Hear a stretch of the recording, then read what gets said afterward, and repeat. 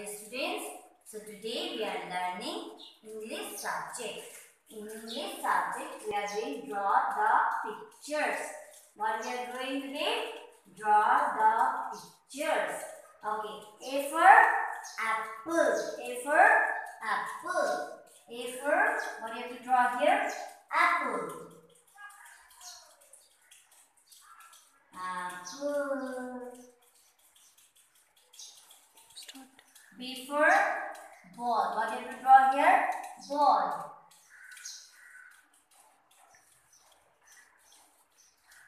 C for cat.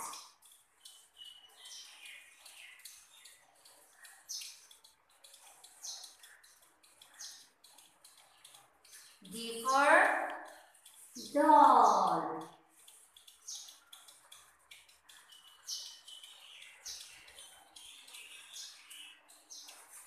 D for dog. E for egg. E for egg. F for fish.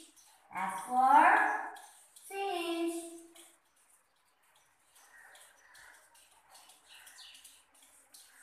Yeah, done. Please do it in your rough copy, okay? Not in school copy. Do it in your copy or a rough copy. Thank you.